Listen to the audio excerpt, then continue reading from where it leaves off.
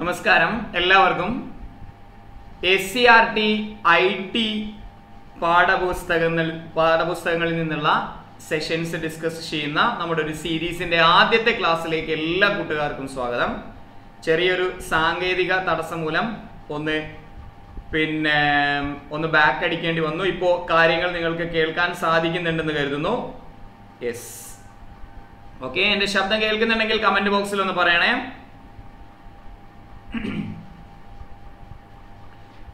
Yes okay ആണെങ്കിൽ ഒന്ന് പറയണം. നമുക്ക് ക്ലാസ് സ്റ്റാർട്ട് ചെയ്യാം.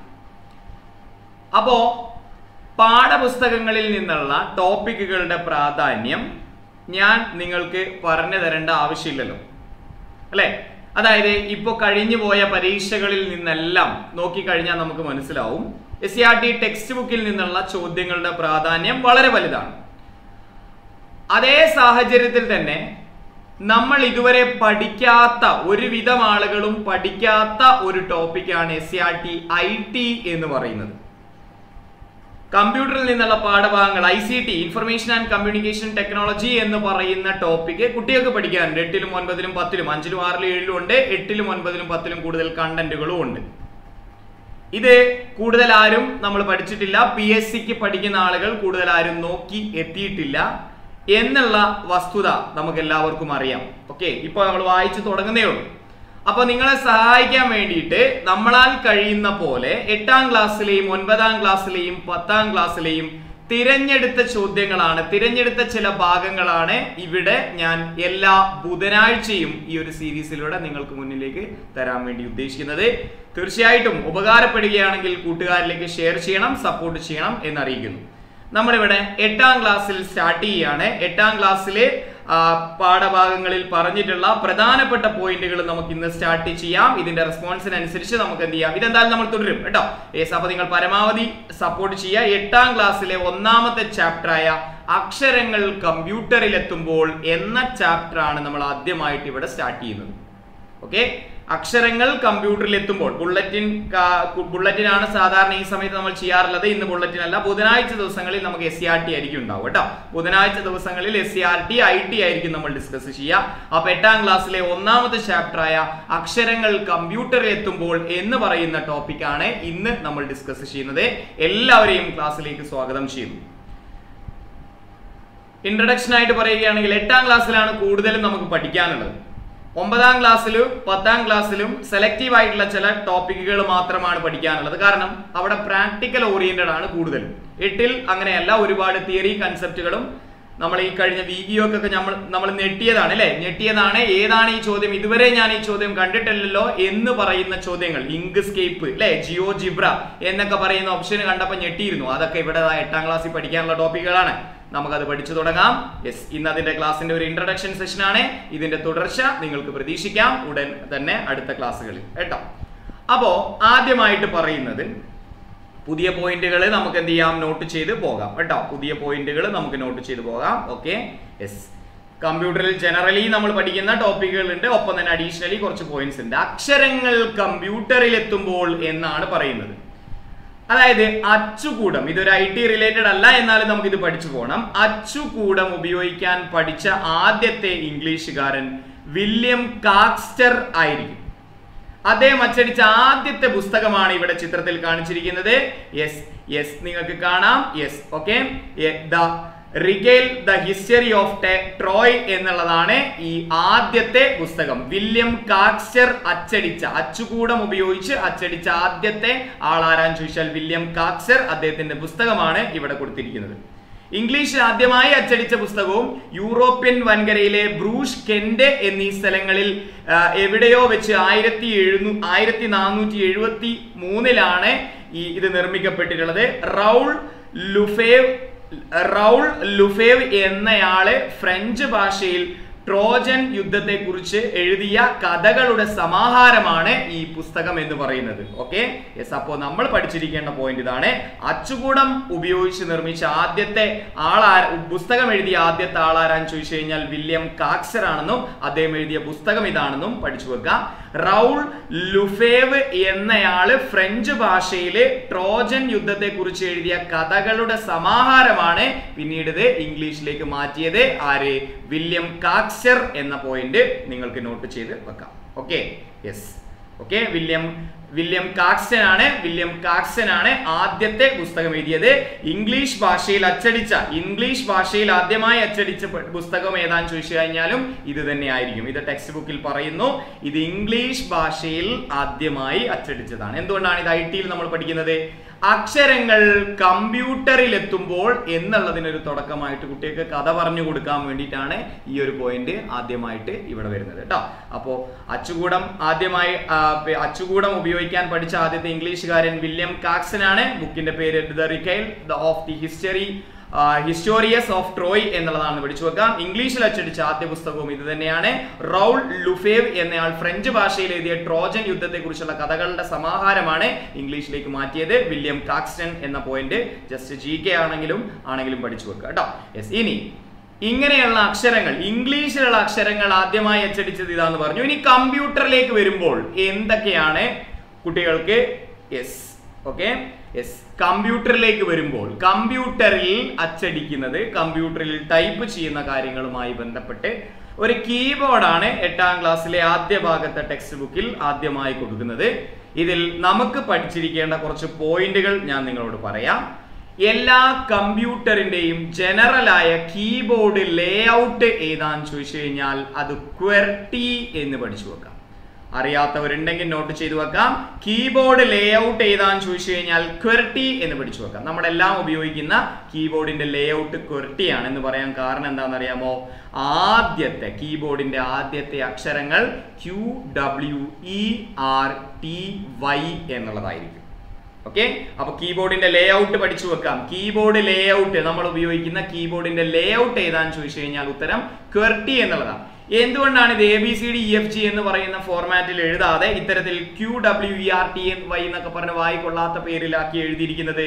യെസ് അത് ഉപയോഗിക്കാൻ എളുപ്പത്തിന് വേണ്ടിയിട്ടുള്ള അക്ഷരങ്ങൾ ഒന്നിച്ച് കൂട്ടിച്ചേർത്ത് വെച്ചിരിക്കുന്ന ഫോർമാറ്റാണ് ഈ ഒരു അലൈൻമെന്റ് കേട്ടോ?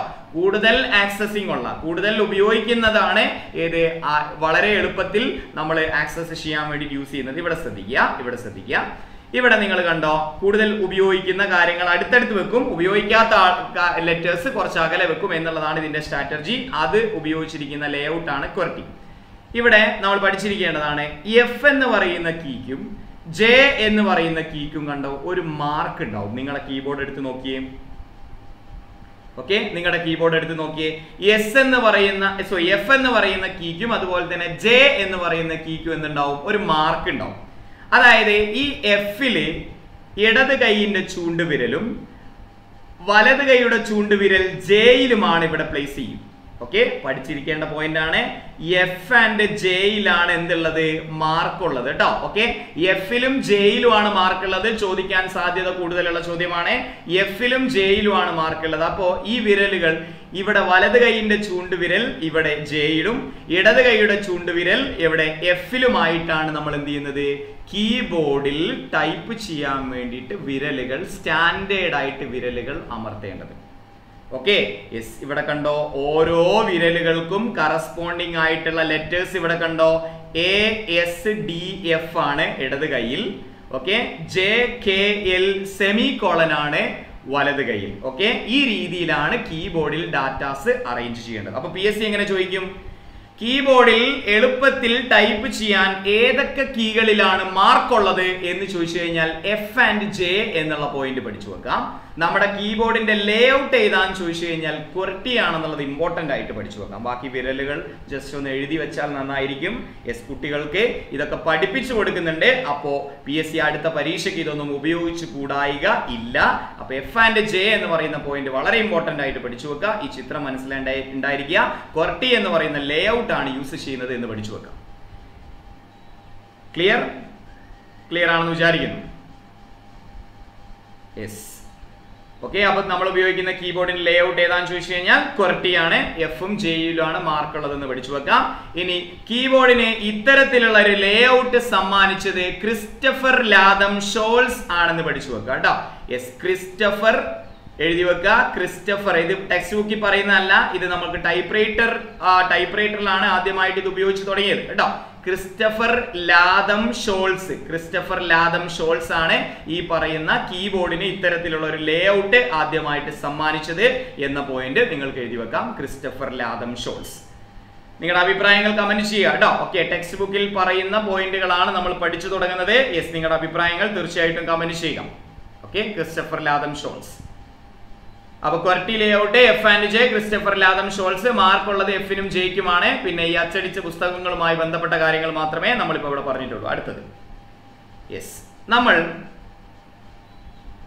അടുത്ത പോയിന്റുകളിലേക്ക് പോകുന്നു. പിന്നെ ഇതിലെ തിയറി നമുക്ക് പ്രാക്ടിക്കലി കുട്ടികളെ കൊണ്ട് ചെയ്യാത്ത കാര്യങ്ങളൊന്നും നമുക്ക് എന്ത് ചെയ്യേണ്ട ആവശ്യമില്ല പഠിക്കേണ്ട ആവശ്യമില്ല. നമുക്കൊരു പി എസ് സിയിൽ ക്വസ്റ്റ്യൻസ് വരുന്ന രീതിയിൽ മാത്രമേ നമ്മൾ ക്ലാസ്സുമായിട്ട് മുന്നോട്ട് പോകുന്നുള്ളൂ കേട്ടോ ടെക്സ്റ്റ് ബുക്കിൽ ഒരുപാട് കാര്യങ്ങൾ ഉണ്ടാവും എട്ടാം ക്ലാസ് ഐ ടി ടെക്സ്റ്റ് ബുക്കാണ് നിങ്ങളുടെ മുന്നിലുള്ളത്. വായിക്കാൻ സാധിക്കുന്നുണ്ടെന്ന് വിചാരിക്കുന്നു. ഇവിടെ ശ്രദ്ധിക്കുക. മൈക്രോസോഫ്റ്റ് വേർഡ് കാണാത്തവരായിട്ട് ആരും ഇവിടെ ഇല്ലല്ലോ. മൈക്രോസോഫ്റ്റ് വേർഡ് എല്ലാവർക്കും അറിയാലോ എന്തിനു വേണ്ടിയിട്ടാണ് വേർഡ് നമുക്ക് ഡോക്യുമെന്റും ടെക്സ്റ്റ് ടൈപ്പ് ചെയ്യും ഡോക്യുമെന്റേഷന് വേണ്ടിയിട്ടാണ് പ്രധാനമായിട്ടും നമ്മൾ യൂസ് ചെയ്യുന്നത് അല്ലെ? ഡോക്യുമെന്റ് ക്രിയേഷന് വേണ്ടിയിട്ടാണ് മൈക്രോസോഫ്റ്റ് വേർഡ് നമ്മൾ യൂസ് ചെയ്യുന്നത്. അതായത് ടൈപ്പ് ചെയ്യുക എന്നുള്ളതാണ്. അപ്പോൾ അക്ഷരങ്ങൾ കമ്പ്യൂട്ടറിൽ എത്തുമ്പോൾ ടൈപ്പ് ചെയ്യുന്നതുമായി ബന്ധപ്പെട്ട കാര്യങ്ങളാണല്ലോ നമ്മൾ പഠിപ്പിക്കുന്നത്. അപ്പോൾ അതുമായി ബന്ധപ്പെട്ട ഒരു സോഫ്റ്റ്വെയറിന്റെ പേരും റിലേറ്റഡ് ആയിട്ടുള്ള ഫാക്ട്സും പഠിക്കുന്നത് മാത്രം. ഓക്കെ യെസ് അപ്പൊ മൈക്രോസോഫ്റ്റ് വേർഡ് എന്ന് പറയുന്നത് മൈക്രോസോഫ്റ്റ് വേർഡ് എന്ന് പറയുന്നത് ഒരു ഡോക്യുമെന്റ് ക്രിയേഷന് വേണ്ടിയിട്ടുള്ള സോഫ്റ്റ്വെയർ ആണ്. ഇനി ഇവിടെ ശ്രദ്ധിക്കുക. വേർഡിന് തുല്യമായിട്ടുള്ള മൈക്രോസോഫ്റ്റ് വേർഡിന്റെ അതേപോലെ തന്നെ യൂസ് ചെയ്യുന്ന സോഫ്റ്റ്വെയറുകളുടെ പേരാണ് ഇവിടെ കൊടുത്തിരിക്കുന്നത്.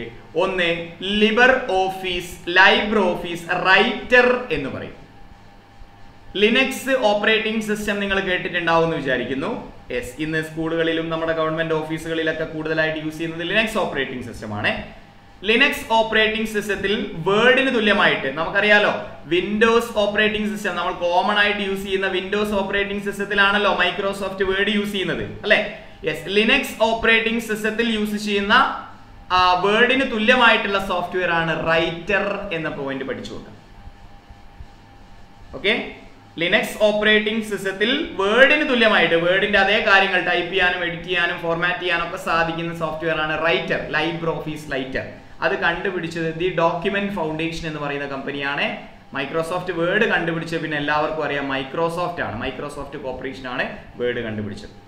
ഓരോ സോ അതായത് വേർഡിന്റെ പോലെ വേർഡിന് തത്തുല്യമായിട്ടുള്ള സോഫ്റ്റ്വെയറുകളുടെ പേര് ഇവിടെ പറയുന്നുണ്ട്. അത് കണ്ടുപിടിച്ച കമ്പനികളുടെ പേര് ഇവിടെ പറയുന്നുണ്ട്. അതാണ് ടെക്സ്റ്റ് ബുക്കിൽ ഉദ്ദേശിക്കുന്നത്. കേട്ടോ? ഇതൊക്കെ പഠിച്ചിരിക്കൽ നിർബന്ധമാണ്. കാരണം ചോദ്യങ്ങൾ വന്നിട്ടുണ്ട്. വി ഇ ഒ പരീക്ഷക്കൊക്കെ ചോദ്യങ്ങൾ വന്നിട്ടുണ്ട് കേട്ടോ? അപ്പൊ മൈക്രോസോഫ്റ്റ് വേർഡ് ചിലർക്കൊക്കെ പഠിക്കാൻ ബുദ്ധിമുട്ട് വരും. കാരണം ഐ ടി പഠിച്ച് ആദ്യമായിട്ട് പഠിച്ച് പഠിച്ചു തുടങ്ങുന്നവർക്ക് ചിലപ്പോൾ ഇതൊരു ബുദ്ധിമുട്ട് വരും. പക്ഷെ നമുക്ക് എന്ത് ചെയ്യാം? ഡീറ്റെയിൽ ആയിട്ട് തന്നെ കവർ ചെയ്ത് പോകണമെന്നാണ് ഉദ്ദേശിക്കുന്നത്. നിങ്ങൾ പരമാവധി ഷെയർ ചെയ്ത് സപ്പോർട്ട് ചെയ്യാം കേട്ടോ? എസ് അപ്പോ വേർഡ് ഡോക്യുമെന്റിന്റെ അതേ കാര്യങ്ങൾ ചെയ്യുന്ന സോഫ്റ്റ്വെയർ ആണ് ഇത് റൈറ്റർ എന്ന് പറയുന്നത്. വേർഡിന് തത്തുല്യമായിട്ടുള്ള സോഫ്റ്റ്വെയർ ആണ് റൈറ്റർ എന്ന് പറയുന്നത്. ഒന്ന് ലിനക്സിലാണ് യൂസ് ചെയ്യുന്നത് ഒന്ന് വിൻഡോസിലാണ് യൂസ് ചെയ്യുന്നത്. ലൈബ്രറി ഓഫീസ് റൈറ്റർ കണ്ടുപിടിച്ചത് ദ ഡോക്യുമെന്റ് ഫൗണ്ടേഷൻ എന്ന് പറയുന്ന കമ്പനിയാണ്. വേർഡ് കണ്ടുപിടിച്ചത് മൈക്രോസോഫ്റ്റ് എന്ന് പറയുന്ന കമ്പനിയാണ്.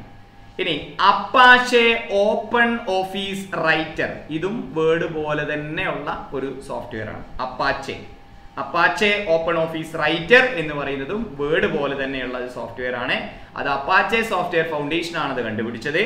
അബി വേർഡ് എന്ന് പറയുന്ന മറ്റൊരു വേർഡ് ഉണ്ട്. ഓക്കെ വേർഡിന് തത്തുല്യമായിട്ടുള്ള മറ്റൊരു സോഫ്റ്റ്വെയർ ആണ് അബി വേർഡ് അത് അബി സോഴ്സ് പ്രൊജക്റ്റ് ആണ് അത് കണ്ടുപിടിച്ചിട്ടുള്ളത്. കേട്ടോ? അബി സോഴ്സ് പ്രൊജക്റ്റ് ആണ് അത് കണ്ടുപിടിച്ചിട്ടുള്ളത് എന്ന പോയിന്റും പഠിച്ചു വെക്കാം.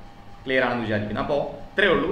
നമ്മുടെ വേർഡ് നമ്മൾ ടൈപ്പ് ചെയ്യാനല്ലേ ഉപയോഗിക്കുന്നത്? അക്ഷരങ്ങൾ കമ്പ്യൂട്ടറിൽ എത്തുമ്പോൾ എന്ന് പറയുന്നതാണ് നമ്മുടെ ആദ്യത്തെ ടോപ്പിക്ക് ഓക്കെ അക്ഷരങ്ങൾ കമ്പ്യൂട്ടറിൽ എത്തുമ്പോൾ എന്നുള്ളതാണ് നമ്മുടെ ആദ്യത്തെ ടോപ്പിക്ക് യെസ് അത് വേർഡ് ഉപയോഗിച്ചാണ് നോർമൽ കേസിൽ മൈക്രോസോഫ്റ്റ് വിൻഡോസിൽ നമ്മൾ എന്ത് ചെയ്യുന്നത്? ടൈപ്പ് ചെയ്യുന്നത്. അതിന് തുല്യമായിട്ടുള്ള സോഫ്റ്റ്വെയറുകളുടെ പേരുകൾ ഒന്ന് പഠിച്ചു വെക്കുക Open Office Writer Apache Open Office Writer AbiWord ഓരോന്നും കണ്ടുപിടിച്ചത് ഏത് കമ്പനിയാണെന്നുള്ളത് കൂടി ഇവിടെ പറയുന്നു. കേട്ടോ? യെസ് അതെ. ഇതെല്ലാം പ്രോസസ്സിംഗ് സോഫ്റ്റ്വെയറുകൾക്ക് ഉദാഹരണമാണ്. വേർഡ് പ്രോസസ്സിംഗ് സോഫ്റ്റ്വെയറുകൾക്ക് ഉദാഹരണമാണ് കേട്ടോ വേർഡ് പ്രോസസ്സിംഗ് സോഫ്റ്റ്വെയറുകൾക്ക് ഉദാഹരണമാണ് ഇവിടെ കൊടുത്തിരിക്കുന്നതെല്ലാം. ഓക്കെ വേർഡ് പ്രോസസ്സിംഗ് സോഫ്റ്റ്വെയറുകൾക്ക് ഉദാഹരണമാണ്. മുകളിൽ കൊടുത്തിരിക്കുന്ന അതായത് വേർഡ് എന്ന് പറയുന്നത് നമുക്കറിയാലോ. ഡോക്യുമെന്റ് ക്രിയേഷന് വേണ്ടിയിട്ടുള്ളതാണ് വേർഡ് പ്രോസസ്സിങ്ങിന് വേണ്ടിയിട്ടുള്ളതാണ്. അതുപോലെ തന്നെ യൂസ് ചെയ്യുന്നതാണ് റൈറ്ററും അപ്പാഷെ ഓപ്പൺ ഓഫീസ് റൈറ്ററും അബി വേൾഡും അപ്പൊ ഇങ്ങനെ ഒരു ചോദ്യം ചോദിക്കാം. താഴെ കൊടുത്തിരിക്കുന്നവയിൽ ഡോക്യുമെന്റ് സോഫ്റ്റ്വെയർ ആയത് ഏത് അല്ലാത്തത് ഏത് എന്ന് പറഞ്ഞ് ചോദിക്കാം. അപ്പൊ ഈ ഓപ്ഷൻസ് തന്നിട്ട് ഏതെങ്കിലും അഡീഷണൽ ആയിട്ടുള്ള ഒരു ഓപ്ഷൻ ചോദിച്ചിട്ട് അതിൽ നിന്ന് അത് കണ്ടെത്താൻ ചോദിച്ചേക്കാം. ഓക്കെ എസ് സി ആർ ടിയിൽ നിന്നുള്ള ചോദ്യങ്ങളുടെ വരവ് കൂടിയിട്ടുണ്ട്. ടെക്സ്റ്റ് ബുക്ക് പഠിച്ചേ മതിയാവുകയുള്ളൂ. എസ് ഇത് നമുക്ക് പഠിച്ചു പോകാം. അത് ഒന്നാമത്തെ ചാപ്റ്റർ ആണ് നമ്മൾ ഡിസ്കസ് ചെയ്യുന്നത്. തീർച്ചയായിട്ടും നിങ്ങൾ എന്ത് ചെയ്യുക നിങ്ങൾ സപ്പോർട്ട് ചെയ്യുക എല്ലാ ബുധനാഴ്ച ദിവസവുമാണ് നമ്മൾ S C R T I T ടോപ്പിക്കുകൾ discuss ചെയ്യുന്നത്. കേട്ടോ? അടുത്തത് വളരെ പ്രധാനപ്പെട്ട ഒരു പേജിലേക്ക് പോകുന്നു. സ്ക്രീനിൽ നിങ്ങൾക്ക് കാണാം. ജിംബ് എന്ന് നിങ്ങൾ കേട്ടിട്ടുണ്ടാവും എന്ന് വിചാരിക്കുന്നു. ജിംബ് ജിംബ് കേട്ടിട്ടുണ്ടോ? ജിംബ് ജിംബ് യെസ് അതായത് നമ്മുടെ പെയിന്റ് ഇല്ലേ? മൈക്രോസോഫ്റ്റ് പെയിന്റ് ഇല്ലേ? അതിന് തത്തുല്യമായിട്ട് ലിനക്സിൽ യൂസ് ചെയ്യുന്ന സോഫ്റ്റ്വെയറിന്റെ പേരാണ് GIMP. GNU Image Manipulation Program എന്നുള്ളതാണ് ജിംബിന്റെ പൂർണരൂപം. എന്താണ്? GIMP. GNU Image Manipulation Program ആണെന്നുള്ളത് പഠിച്ചു വെക്കാം. യെസ് അത് എഴുതി വെക്കേണ്ട പോയിന്റ് ആണ്. കേട്ടോ? GIMP is a graphical editor software used for editing digital pictures and photograph ചിത്രങ്ങളും അതുപോലെ തന്നെ ഫോട്ടോഗ്രാഫൊക്കെ നമുക്ക് എഡിറ്റ് ചെയ്യാൻ സഹായിക്കുന്ന സോഫ്റ്റ്വെയറിന് പറയുന്ന പേരാണ് ജിംബ് ഓക്കെ യെസ് പെയിന്റിനൊക്കെ തത്തുല്യമായിട്ട് ലിനക്സിൽ യൂസ് ചെയ്യുന്ന ഓക്കെ പെയിന്റ് എന്ന് പറയുന്നത് എന്താണ്? ഗ്രാഫിക്കൽ സോഫ്റ്റ്വെയർ ആണ്. അത് വിൻഡോസ് ഓപ്പറേറ്റിംഗ് സിസ്റ്റത്തിലാണ് യൂസ് ചെയ്യുന്നത്. കേട്ടോ? വിൻഡോസ് ഓപ്പറേറ്റിംഗ് സിസ്റ്റത്തിലാണ് യൂസ് ചെയ്യുന്നത് പെയിന്റ് അതിന് തുല്യമായിട്ട് ലിനക്സിൽ യൂസ് ചെയ്യുന്ന സോഫ്റ്റ്വെയറിന്റെ പേരാണ് ജിംബ് എന്ന് പഠിച്ചു വെക്കാം. ഗ്നു ഇമേജ് മാനിപ്പുലേഷൻ പ്രോഗ്രാം ആണ് അതിന്റെ പൂർണരൂപം എന്ന് പഠിച്ചു വെക്കാം. ആയിരത്തി തൊള്ളായിരത്തി തൊണ്ണൂറ്റി ആറിലാണ് റിലീസ് ചെയ്തത്. കേട്ടോ? ഗ്നു ഇമേജ് മാനിപ്പുലേഷൻ പ്രോഗ്രാം ആണ് ജിംബിന്റെ പൂർണരൂപം. ഇനി ജിംബിന്റെ ഒഫീഷ്യൽ ലോഗോ നമ്മളെ കമ്പ്യൂട്ടറിൽ ഉപയോഗിക്കുന്ന ഓരോ സോഫ്റ്റ്വെയറിനും ഓരോ പർട്ടിക്കുലർ ലോഗോ ഉണ്ടാവും അല്ലെ? ജിംബിന്റെ ലോഗോ എന്ന് പറയുന്നത് ഇതാണ് വിൽബർ എന്നുള്ളതാണ് ഒഫീഷ്യൽ മാസ്കോട്ട് ഓഫ് അല്ലെങ്കിൽ ഒഫീഷ്യൽ സിംബൽ ഓഫ് ജിംബ് ഇതാ ഈ ഒരു നായയാണെന്ന് തോന്നുന്നു. നായ ബ്രഷ് കടിച്ചിരിക്കുന്ന ഈ ഒരു ചിത്രമാണ് വിൽബർ. അതാണ് ജിംബിന്റെ ഒഫീഷ്യൽ സിംബൽ എന്ന് പഠിച്ചു വെക്കാം. ജിംബിന്റെ ഒഫീഷ്യൽ സിമ്പൽ ഏതാണെന്ന് ചോദിച്ചു കഴിഞ്ഞാൽ വിൽബർ ആണെന്ന് പഠിച്ചു വെക്കാം. തോമസ് കുസ്മാനാണ് ഫിൻലാൻഡുകാരനായ തോമസ് കുസ്മാനാണ് ആയിരത്തി തൊള്ളായിരത്തി തൊണ്ണൂറ്റി ഏഴിൽ വിൽബറിന് അങ്ങനെ ഒരു ചിഹ്നം കൊടുത്തത്. കേട്ടോ? സോറി ജിംബിന് അങ്ങനെ ഒരു ചിഹ്നം കൊടുത്തത് വിൽബർ എന്ന ചിഹ്നം കൊടുത്തത്. ഓക്കെ തോമസ് ഗുസ്മാനൻ ആയിരത്തി തൊള്ളായിരത്തി തൊണ്ണൂറ്റി ഏഴ് വിൽബർ ആദ്യമായി പഠിക്കുന്ന കാര്യങ്ങളാണ്. എസ് പഠിക്കാൻ ഒരു അല്പം ബുദ്ധിമുട്ട് വേണമെങ്കിൽ ഉണ്ടായേക്കാം. പക്ഷേ നമ്മൾക്ക് ഇത് പഠിച്ചേ മതിയാവുള്ളൂ. കാരണം ജോലി കിട്ടേണ്ടത് നമ്മുടെ ആവശ്യമാണ്. റാങ്ക് മേക്കിംഗ് ക്വസ്റ്റൻ ആയിട്ട് ഒരു മൂന്ന് ചോദ്യങ്ങൾ എസ് ആർ ടി ഐ ടിയിൽ നിന്ന് വന്നു കഴിഞ്ഞാൽ യെസ് അപ്പോ തീർച്ചയായിട്ടും നമുക്ക് എന്ത് കിട്ടും? തീർച്ചയായിട്ടും നമുക്ക് എന്ത് കിട്ടണം? ഈ ആൻസറുകൾ കിട്ടണം. യെസ് ആ രീതിയിൽ നമ്മൾ എന്ത് ചെയ്യാം? പഠിക്കാം Wilbur is the official symbol of ഏതാന്ന് പഠിച്ചു വെക്കാം? Wilbur is the official symbol of GIMP ജിംബിന്റെ പൂർണരൂപം ഗ്നൂ ഇമേജ് മാനിപ്പുലേഷൻ പ്രോഗ്രാം പൂർണരൂപം ആയിരത്തി തൊള്ളായിരത്തി തൊണ്ണൂറ്റി ആറ് ഇനി നമ്മൾ പഠിച്ചു ജിംബ് എന്ന് പറയുന്നത് പിക്ചർ എഡിറ്റ് ചെയ്യാൻ ഫോട്ടോഗ്രാഫ് എഡിറ്റ് ചെയ്യാൻ ഒരു ഗ്രാഫിക്കൽ എഡിറ്റിംഗ് സോഫ്റ്റ്വെയർ ആണ്. അതുപോലെ തന്നെ യൂസ് ചെയ്യുന്ന സോഫ്റ്റ്വെയറുകളാണ് Inkscape Tux Paint X Paint My Paint Pencil ഇതെല്ലാം ഗ്രാഫിക് എഡിറ്റിംഗ് സോഫ്റ്റ്വെയർ ആണെന്നുള്ള പോയിന്റ് എഴുതി വെക്കാം. Graphic editing software okay graphic editing software ആണ്. GIMP Inkscape Tux Paint X Paint My Paint Pencil എന്ന പോയിന്റുകൾ നിങ്ങൾക്ക് നോട്ട് ചെയ്ത് വെക്കാം. യെസ് യെസ് ഓക്കെ യെസ് അപ്പോ ഈ ഇങ്ക് സ്കേപ്പ് നിങ്ങൾ എവിടെയെങ്കിലും കണ്ടിട്ടുണ്ടോ? ഇങ്ക് സ്കേപ്പ് എവിടെയെങ്കിലും കണ്ടിട്ടുണ്ടോ? കഴിഞ്ഞ പ്രാവശ്യത്തെ ഈ കഴിഞ്ഞ വി ഇ ഒ പരീക്ഷയിൽ ഒരു ഓപ്ഷൻ ആയിരുന്നു ഇങ്ക് സ്കേപ്പ് അത് ഇവിടെ നിന്നാണ് പി എസ് സി എടുത്തിട്ടുള്ളത്. അപ്പൊ ഇവിടെ നിന്ന് ഇനിയും ചോദ്യങ്ങൾ പ്രതീക്ഷിക്കാം. പഠിച്ചു തന്നെ പോകാം. Inkscape text Paint X Paint My Paint Pencil ഇതെല്ലാം ഗ്രാഫിക്കൽ ആൻഡ് പിക്ചേഴ്സ് എഡിറ്റിംഗ് ഫോട്ടോഗ്രാഫിന് വേണ്ടിയിട്ടുള്ള ഗ്രാഫിക്കൽ എഡിറ്റിംഗ് സോഫ്റ്റ്വെയർ ആണെന്നുള്ള പോയിന്റ് നിങ്ങൾക്ക് നോട്ട് ചെയ്ത് വെക്കാം. ക്ലിയർ ഇനി ഈ ചിഹ്നം കണ്ടുപിടിച്ചതാണ് തോമസ് കോസ്മാൻ അല്ലെ? ചിഹ്നം കണ്ടുപിടിച്ചതാണ് തോമസ് കോസ്മാനൻ. പക്ഷേ ജിംബ് കണ്ടുപിടിച്ചത് ആരാന്ന് ചോദിച്ചു കഴിഞ്ഞാൽ Peter Mattis and Spencer Kimball ആണെന്നുള്ളത് പഠിച്ചു വെക്കാം. Okay? Peter Mattis and Spencer Kimball ആ പേരുകൾ നോട്ട് ചെയ്ത് വെക്കണം. ഒരുപാട് ആളുകളുടെ പേരുകൾ ചോദിച്ചും അടുത്ത പി എസ് സിക്ക് ഇനി ഇതൊക്കെ ചോദിച്ചേക്കാം. Okay? Peter Mattis and Spencer Kimball ആണ് ഏത് കണ്ടുപിടിച്ചത്? ഈ ജിംബ് കണ്ടുപിടിച്ചത് എന്ന പോയിന്റ് പഠിച്ചു വെക്കാം. കേട്ടോ? അപ്പൊ എന്തൊക്കെയാണ് നമ്മൾ പറഞ്ഞത്? എന്തൊക്കെയാണ് നമ്മൾ പറഞ്ഞത്? ജിംബ് എന്ന് പറയുന്നത് ഒരു ഗ്രാഫിക്കൽ എഡിറ്റിംഗ് സോഫ്റ്റ്വെയർ ആണ്. ഗ്രാഫിക് എഡിറ്റിംഗ് സോഫ്റ്റ്വെയർ ആണ് ജിംബ്. ജിംബിന്റെ പൂർണരൂപം ഗ്രൂ ഇമേജ് മാനിപ്പുലേഷൻ പ്രോഗ്രാം എന്നുള്ളതാണ്. ജിമ്മിന്റെ ഒഫീഷ്യൽ സിമ്പൽ ഏതാണെന്ന് ചോദിച്ചു കഴിഞ്ഞാൽ വിൽബർ എന്ന് പഠിച്ചു വെക്കാം. ഇങ്ക്സ്കേപ്പും ടെക്സ് പെയിന്റും എക്സ് പെയിന്റും മൈ പെയിന്റും പെൻസിലും എല്ലാം അത്തരത്തിലുള്ള സോഫ്റ്റ്വെയറുകൾക്ക് ഉദാഹരണമാണ്.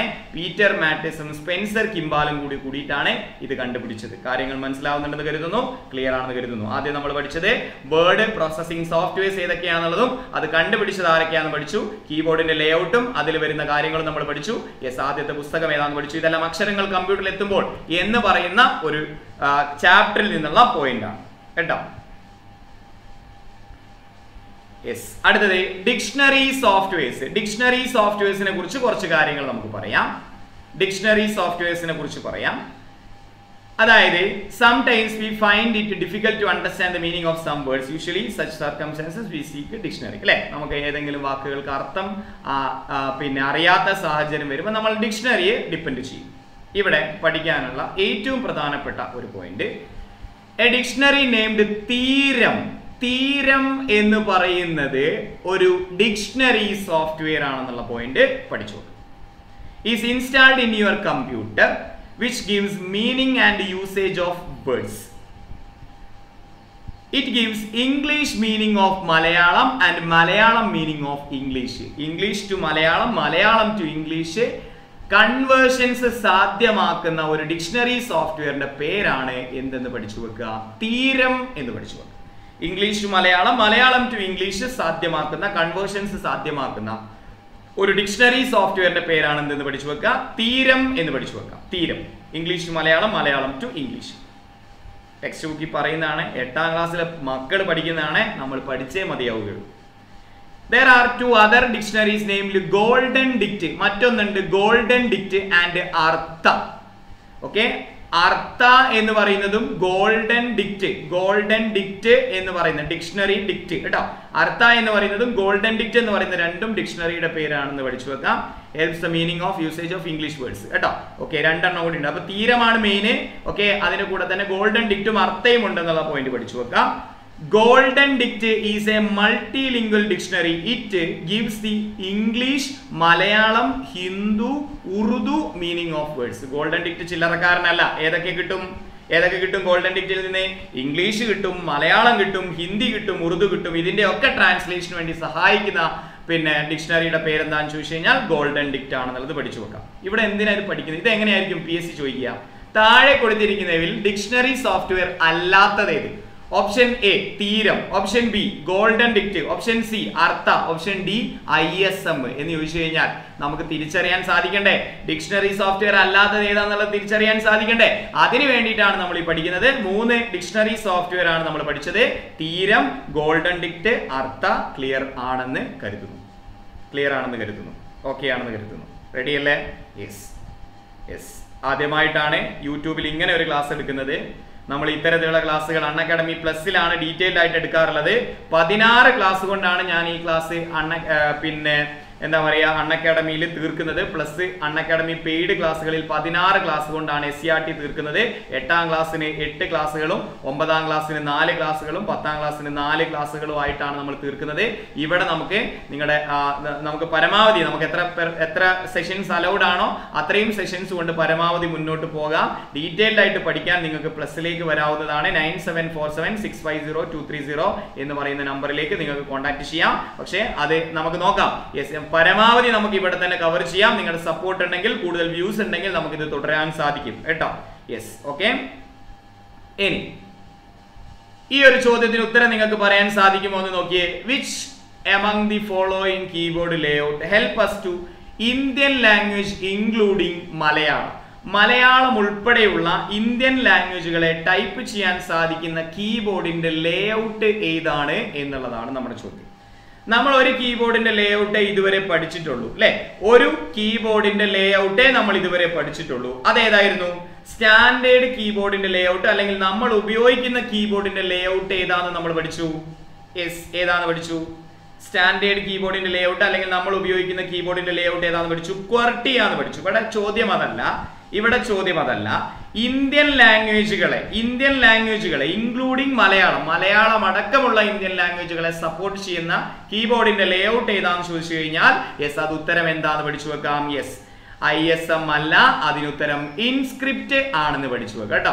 ഇൻസ്ക്രിപ്റ്റ് ആണ് മലയാളം ഉൾപ്പെടെയുള്ള ഇന്ത്യൻ ലാംഗ്വേജുകളെ സപ്പോർട്ട് ചെയ്യുന്ന കീബോർഡിന്റെ ലേ ഔട്ട് ഏതാന്ന് ചോദിച്ചു കഴിഞ്ഞാൽ ഇൻസ്ക്രിപ്റ്റ് ആണ് പഠിച്ചു വെക്കാം ഐ എസ് എം എന്ന് പറയുന്നത് മലയാളം ടൈപ്പ് ചെയ്യാൻ സഹായിക്കുന്ന ഒരു സോഫ്റ്റ്വെയറിന്റെ പേരാണെന്നുള്ളത് പഠിച്ചു വെക്കുക കേട്ടോ. മലയാളം ടൈപ്പ് മലയാളം ഒക്കെ ടൈപ്പ് ചെയ്യാൻ സാധിക്കുന്ന ഒരു സോഫ്റ്റ്വെയറിന്റെ പേരാണ് ഐ എസ് എം എന്ന് പഠിച്ചു വെക്കുക രചന എന്ന് പറയുന്നത് ഒരു മലയാളം ഫോണ്ട് ആണെന്നുള്ളതും പഠിച്ചു വെക്കുക കേട്ടോ. എസ് എല്ലാം ഇമ്പോർട്ടന്റ് ആണ് എല്ലാം പഠിക്കാനുണ്ട്. യെസ് ഓക്കെ അപ്പൊ മലയാളം ഫോണ്ട് ആണ് ഏത്? മലയാളം ഫോണ്ട് ആണ് രചന. അതിനുവേണ്ടി യൂസ് ചെയ്യുന്ന സോഫ്റ്റ്വെയർ ആണ് ഏത്? ഐ എസ് എം കീബോർഡിന്റെ ലേ ഔട്ട് ഏതാന്ന് ചോദിച്ചു കഴിഞ്ഞാൽ കീബോർഡിന്റെ മോഡൽ ഏതാന്ന് ചോദിച്ചു കഴിഞ്ഞാൽ ഇൻസ്ക്രിപ്റ്റ് ആണ് പഠിച്ചു വെക്കാം. ഇത്തരത്തിലുള്ള സോഫ്റ്റ്വെയർ ഒക്കെ ഡെവലപ്പ് ചെയ്യുന്ന കമ്പനിയാണ് ഇന്ത്യൻ കമ്പനിയാണ് സീഡാക്ക് പൂനെ ആസ്ഥാനമായി പ്രവർത്തിക്കുന്ന വിജയ് പി ബഡ്കർ. ഒരുപാട് പോയിന്റുകൾ ഇവിടെ വരുന്നുണ്ട്. വിജയ് പി ബഡ്കർ ആണ് ആദ്യത്തെ നമ്മുടെ സീഡാക്ക് എന്ന് പറയുന്നത് ഇത്തരത്തിലുള്ള ഇ- ഇന്ത്യൻ ബേസ്ഡ് ആയിട്ടുള്ള ഇത്തരത്തിലുള്ള സോഫ്റ്റ്വെയർ ഒക്കെ ഡെവലപ്പ് ചെയ്യുന്ന ഇന്ത്യയുടെ ഒരു കമ്പനിയാണ് സീഡാക്ക് അതിന്റെ ആസ്ഥാനം പൂനെയാണ്. അതിന്റെ ആദ്യത്തെ ഡയറക്ടർ വിജയ് പി പഡ്കറാണ് അതാണ് സീഡാക്കിനെ കുറിച്ച് കുറച്ച് പോയിന്റ് കേട്ടോ? ഐ എസ് എം എന്ന് പറയുന്നത് മലയാളം ലാംഗ്വേജുകളൊക്കെ സപ്പോർട്ട് ചെയ്യാൻ വേണ്ടിയിട്ടുള്ള പിന്നെ സോഫ്റ്റ്വെയറിന്റെ പേരാണെന്ന് പഠിച്ചു വെക്കാം. യെസ് ഇനി ഇൻസ്ക്രിപ്റ്റ് എന്ന് പറയുന്നതാണ് കീബോർഡിന്റെ ലേഔട്ട് അതായിരുന്നു നമ്മുടെ ചോദ്യം. രചന എന്ന് പറയുന്നത് മലയാളം ഫോണ്ടാണ് അതെ രചനയും കാർത്തികയും അതുപോലെ തന്നെ മീര ഇതൊക്കെ എന്താണ്? മലയാളം ഫോണ്ടുകളാണെന്നുള്ള പോയിന്റും പഠിച്ചു വെക്കാം. ഓക്കെ യെസ് അപ്പൊ ടൈപ്പിംഗുമായി ബന്ധപ്പെട്ട് കീബോർഡുമായി ബന്ധപ്പെട്ട് അക്ഷരങ്ങൾ കമ്പ്യൂട്ടറിൽ എത്തുമ്പോൾ ഇംഗ്ലീഷിലുള്ള കാര്യങ്ങൾ നമ്മൾ അച്ചടിക്കുന്നത് എങ്ങനെയാണെന്നുള്ളത് ഇൻട്രോ ആയിട്ട് പറഞ്ഞു. പിന്നെ അക്ഷരങ്ങൾ കമ്പ്യൂട്ടറിൽ എത്തുമ്പോൾ എന്തൊക്കെ കാര്യങ്ങളാണെന്നുള്ളതാണ് ഒന്നാം ക്ലാസ് സോറി എട്ടാം ക്ലാസ്സിലെ ഒന്നാമത്തെ ചാപ്റ്ററിൽ നിന്ന് പറയാനുള്ളത്. യെസ് അപ്പോൾ ഇത്രയും കാര്യങ്ങളൊക്കെയാണ് ഇന്നത്തെ ക്ലാസ്സിൽ എനിക്ക് അവതരിപ്പിക്കാനുള്ളത്. ഞാൻ ഒന്നും കൂടെ വൈൻഡപ്പ് ചെയ്യാം. നമ്മൾ എടുത്ത കാര്യങ്ങൾ പറയാം. അക്ഷരങ്ങൾ കമ്പ്യൂട്ടറിൽ എത്തുമ്പോൾ എന്നുള്ളതായിരുന്നു നമ്മുടെ ചാപ്റ്ററിന്റെ പേര്. ഇംഗ്ലീഷ് ആദ്യമായി അച്ചടിച്ചത് വില്യം കാക്സ്റ്റൺ ആണ്. അദ്ദേഹത്തിന്റെ പുസ്തകവും നിങ്ങൾക്ക് കാണാം. അത് ഫ്രഞ്ച് ഭാഷയിലെ ട്രോജൻ യുദ്ധത്തെ കുറിച്ച് എഴുതിയ കഥകളുടെ പരിഭാഷയായിരുന്നു ഇംഗ്ലീഷിൽ ആദ്യമായിട്ട്. അതൊരു ബുക്കാക്കിയത് കേട്ടോ. പിന്നെ കമ്പ്യൂട്ടറിലേക്ക് അക്ഷരങ്ങൾ എത്തിക്കുന്ന രീതിയാണ് നമ്മൾ പറഞ്ഞത്. സ്റ്റാൻഡേർഡ് കീബോർഡിന്റെ ലേഔട്ട് ഏതാന്ന് ചോദിച്ചു കഴിഞ്ഞാൽ ക്വർട്ടി അല്ലെ? സ്റ്റാൻഡേർഡ് കീബോർഡിന്റെ ലേഔട്ട് ഏതാന്ന് ചോദിച്ചു കഴിഞ്ഞാൽ ക്വർട്ടി ആണെന്ന് പറഞ്ഞു. അങ്ങനെ ഒരു സ്റ്റാൻഡേർഡ് അങ്ങനെ ഒരു സ്റ്റാൻഡേർഡ് കൊണ്ടുവന്നത് ക്രിസ്റ്റഫർ ലാദം ഷോൾസ് ആണ് പഠിച്ചു വെച്ചു. ഇനി കീബോർഡിൽ ഉപയോഗിക്കുന്നതിനനുസരിച്ച് എളുപ്പമുള്ള എളുപ്പമുള്ള അതായത് കൂടുതൽ ഉപയോഗിക്കേണ്ട കാര്യങ്ങളാണ് നമ്മൾ അത് കീബോർഡിന്റെ ഏറ്റവും അടുത്ത് കൊണ്ടുവച്ചിട്ടുള്ളത്. എഫിലും ജെയിലുമാണ് മാർക്കിങ്സ് ഉള്ളതെന്ന് പഠിച്ചു. പിന്നെ വിവിധ വേർഡ് പ്രോസസ്സിംഗ് സോഫ്റ്റ്വെയറുകളെ കുറിച്ച് പഠിച്ചു. പിന്നെ ജിംബിനെ കുറിച്ചും ജിംബിന്റെ ഒഫീഷ്യൽ സിംബർ വിൽബർ ആണെന്നും പീറ്റർ മാറ്റിസും സ്പെൻസർ കിംബാലുമാണ് അത് കണ്ടുപിടിച്ചത് എന്ന കാര്യങ്ങളും നമ്മൾ പഠിച്ചു. പിന്നെ ഏതൊക്കെയാണ് ആ ജിംബ് പോലെ തന്നെ യൂസ് ചെയ്യാറുള്ള സോഫ്റ്റ്വെയർ എന്നാണ് നമ്മൾ പഠിച്ചത്. പിന്നെ വിവിധ ഡിക്ഷണറി സോഫ്റ്റ്വെയർ അല്ലെ? തീരം ഗോൾഡൻ ഡിക്റ്റ് അർത്ഥം അല്ലെ? അപ്പൊ ഇങ്ങനെ ചോദിക്കാം. English to Malayalam Malayalam to English translation സാധ്യമാക്കുന്നത് തീരമാണ്. ഉറുദു അടക്കമുള്ള ലാംഗ്വേജുകളെ സപ്പോർട്ട് ചെയ്യുന്നത് ഏതാണെന്ന് ചോദിച്ചു കഴിഞ്ഞാൽ ഏതാണെന്ന് പഠിച്ചു വെക്കാം. ഗോൾഡൻ ഡിക്റ്റ് ആണെന്ന് പഠിച്ചു വെക്കാം. പിന്നെ ഐ എസ് എം ഒരു സോഫ്റ്റ്വെയർ ആണ്. ഇൻസ്ക്രിപ്റ്റ് ആണ്. കീ ഇന്ത്യൻ ലാംഗ്വേജുകൾ ഉൾപ്പെടെ മലയാളം ഉൾപ്പെടെയുള്ള ഇന്ത്യൻ ലാംഗ്വേജുകളെ സപ്പോർട്ട് ചെയ്യുന്ന ലേഔട്ട് ഏതാണെന്ന് ചോദിച്ചാൽ ഇൻസ്ക്രിപ്റ്റ് ആണ് എന്ന് പോയിന്റ് പഠിച്ചു വെച്ചു. രചന മീര അതൊക്കെ എന്താണ്? കീബോർഡിന്റെ പിന്നെ രചനയും മീരയൊക്കെ എന്താണ് മലയാളം ഫോണ്ടുകളാണെന്നുള്ള പോയിന്റും നമ്മൾ പഠിച്ചു വെച്ചു. ഓക്കെ യെസ് അപ്പോൾ ഒന്നാമത്തെ ചാപ്റ്ററിൽ അത്രയൊക്കെ കാര്യങ്ങളാണ് പറയുന്നത്. എല്ലാ ബുധനാഴ്ചയും കേട്ടോ എല്ലാ ബുധനാഴ്ചയുമാണ് ഈ ക്ലാസ് ഉണ്ടാവുക. ബുധനാഴ്ച ദിവസം നിങ്ങൾക്ക് വരാം. അല്ലാത്ത ദിവസങ്ങളിൽ പിന്നെ പി എസ് സിയുടെ ബുള്ളറ്റിൻ ചോദ്യങ്ങളാണ് നമ്മൾ ഡിസ്കസ് ചെയ്യുന്നത്. അപ്പോൾ തീർച്ചയായിട്ടും നിങ്ങളുടെ അഭിപ്രായങ്ങൾ നിങ്ങൾക്ക് കമന്റ് ചെയ്യാം. യെസ് ഇനി ഇത് അൺ അക്കാഡമിയുടെ ക്ലാസ്സുകൾ എങ്ങനെ? ഇതിപ്പോ ഞാൻ നിങ്ങൾക്ക് പറഞ്ഞു തരുന്നതും അതുപോലെ തന്നെ നിങ്ങൾ കമന്റ് ചെയ്യുന്നത് തമ്മിൽ ചെറിയൊരു ഡിലേ ഉണ്ട്. നിങ്ങളുടെ കമന്റുകളൊക്കെ നിങ്ങൾ ഞാൻ പറഞ്ഞ് പറയുന്ന സമയത്തൊന്നല്ല നിങ്ങളുടെ കമന്റ് എനിക്ക് കാണുന്നത്. കുറച്ച് ഡിലേ ആയിട്ടാണ് കാണുന്നത്. പക്ഷെ നേരെ മറിച്ച് നമ്മുടെ അൺ അക്കാഡമിയുടെ ക്ലാസ്സുകൾ അങ്ങനെയല്ല. ലൈവായിട്ട് നിങ്ങളുടെ സംശയങ്ങൾ ചോദിച്ച് ക്ലിക്ക് ഇതിപ്പോ നിങ്ങൾ എന്തെങ്കിലും അവിടെ കമന്റ് ചെയ്ത് ഞാൻ കുറെ അങ്ങോട്ട് സംസാരിച്ച് കഴിഞ്ഞതിന് ശേഷമായിരിക്കും നിങ്ങളുടെ കമന്റ് കാണുക. അപ്പൊ ആ ആ കമന്റിന് പിന്നെ പ്രത്യേകിച്ച് പ്രത്യേക ഒരു- ഒരു പ്രസക്തി ഉണ്ടാവില്ല. ഓക്കെ പക്ഷേ ലൈവായിട്ടുള്ള ഇന്ററാക്ഷൻ ആണ് അൺ അക്കാഡമിയുടെ ഏറ്റവും വലിയ പ്രത്യേകത എന്ന് പറയുന്നത്. ഒരുപാട് ഈ രണ്ടായിരത്തി ഇരുപത് ഇരുപത്തി ഒന്നിൽ നടക്കാൻ പോകുന്ന L D C L G S അതുപോലെ തന്നെ secretariat L G S S I batch ഫയർമാന് പിന്നെ അതുപോലെ തന്നെ എൽ പി യു പി പിന്നെ C P O B D O വരാനിരിക്കുന്നുണ്ട്. Degree level എക്സാമുകൾ വരാനിരിക്കുന്നു ഇതിന്റെ എല്ലാം ക്ലാസ്സുകൾ ഒരു വർഷത്തേക്ക് അതായത് അയ്യായിരത്തി അറുന്നൂറ്റി എഴുപത് രൂപ മുടക്കിയിട്ട് ഒരു വർഷത്തേക്ക് സബ്സ്ക്രൈബ് ചെയ്ത് കഴിഞ്ഞാൽ നിങ്ങൾക്ക് ഇതിന്റെ മുഴുവൻ ടോപ്പിക്കുകളും പൂർണമായിട്ട് കിട്ടും. അപ്പോൾ അത്തരത്തിൽ എന്ത് സംശയം ഉണ്ടെങ്കിലും നിങ്ങൾക്ക് എന്നെ വിളിക്കാം. അറുന്നൂറ്റി അൻപത് ഇരുന്നൂറ്റി മുപ്പത് എന്ന് പറയുന്ന നമ്പറിൽ വിളിക്കാം. യെസ് അപ്പോൾ നമുക്ക് ഫ്രീ ക്ലാസ്സുകളുണ്ട് ഉച്ചയ്ക്ക് പന്ത്രണ്ടരയ്ക്ക് നമുക്കൊരു ഫ്രീ ക്ലാസ് ഉണ്ട്. നൂറ് ചോദ്യങ്ങൾ ഡിസ്കസ് ചെയ്യുന്ന ക്ലാസ് ഉണ്ട്. പിന്നെ അതുപോലെ തന്നെ രാത്രി എട്ടരയ്ക്ക് science and I T or confusing facts discuss ചെയ്യുന്ന ഒരു ക്ലാസ് ഉണ്ട്. രാത്രി പത്തരയ്ക്ക് എല്ലാ ദിവസവും നിങ്ങൾക്ക് കുറച്ച് ടോപ്പിക്ക് തന്നിട്ട് നമ്മൾ ക്ലാസ്സുകൾ നടത്തുന്നുണ്ട്. ഇതെല്ലാം നിങ്ങളെ അറിയിക്കുന്നത് നമ്മുടെ ഒരു ഗ്രൂപ്പ് ഉണ്ട്. പച്ചവെള്ളം പോലെ നിങ്ങളെ പഠിക്കാൻ സഹായിക്കുന്ന നമ്മുടെ ഒരു ഗ്രൂപ്പ് ഉണ്ട്. പച്ചവെള്ളം എന്നുള്ളതാണ് ഗ്രൂപ്പിന്റെ പേര്. ഇൻസ്റ്റയിലും ഫേസ്ബുക്കിലും ഒക്കെ പച്ചവെള്ളം എന്ന് പറയുന്ന പേജ് നിങ്ങൾക്ക് സെർച്ച് ചെയ്താൽ കാണാൻ സാധിക്കും. യെസ് അപ്പോൾ അത് ഗ്രൂപ്പിലേക്ക് ജോയിൻ ചെയ്യുക. അടുത്ത ക്ലാസ്സിന്റെ നോട്ടിഫിക്കേഷൻസും ഒക്കെ നമ്മൾ അതിലായിരിക്കും അറിയിക്കുക. കേട്ടോ? യെസ് ഇന്നത്തെ എക്സാമിൻ ടോപ്പിക്കിൽ യെസ് ആ ഇൻക്ലൂഡഡ് ആണ് കേട്ടോ അപ്പൊ എനിവേ ഈ ക്ലാസ് ക്ലാസ്സിലെടുത്ത കാര്യങ്ങളെല്ലാം നിങ്ങൾക്ക് മനസ്സിലായി എന്ന് വിചാരിക്കുന്നു. തീർച്ചയായിട്ടും നിങ്ങൾ എന്ത് ചെയ്യുക? പരമാവധി കൂട്ടുകാരിലേക്ക് ഷെയർ ചെയ്ത് സപ്പോർട്ട് ചെയ്യുക. എത്രത്തോളം വ്യൂസ് അതിന് കിട്ടുന്നുണ്ട് എന്നതിനനുസരിച്ചായിരിക്കും അൺ അക്കാഡമി എന്നോട് പറയുന്നത് ഇത് തുടരണോ വേണ്ടയോ എന്നുള്ളത്. അപ്പൊ തീർച്ചയായിട്ടും നിങ്ങൾക്കത് ഉപയോഗ കമന്റുകളിൽ നിന്ന് ഉപയോഗപ്പെട്ടു എന്ന് തന്നെയാണ് മനസ്സിലാവുന്നത്. വീണ്ടും കാണാം. അതുവരേക്കും എല്ലാ കൂട്ടുകാർക്കും നന്ദി നമസ്കാരം. Thank you thank you so much നിങ്ങൾക്ക് എന്തെങ്കിലും സജഷൻസോ അഭിപ്രായങ്ങളോ ഉണ്ടെങ്കിൽ നിങ്ങൾ എന്ത് ചെയ്യുക? കമന്റ് ബോക്സിൽ രേഖപ്പെടുത്തുക. ഞാൻ ഇപ്പോഴല്ലെങ്കിൽ മറ്റൊരു സമയത്ത് അത് വായിച്ചു നോക്കിയിട്ട് നിങ്ങൾക്ക് റിപ്ലൈ തരുന്നതായിരിക്കും. കേട്ടോ? യെസ് അപ്പം ഇനിവേ യെസ് ഒരു ചെറിയ സാങ്കേതിക തടസ്സം മൂലം ഒരു ഇത്തിരി ഡിലേ ആയിട്ടാണ് ക്ലാസ് സ്റ്റാർട്ട് ചെയ്തത്.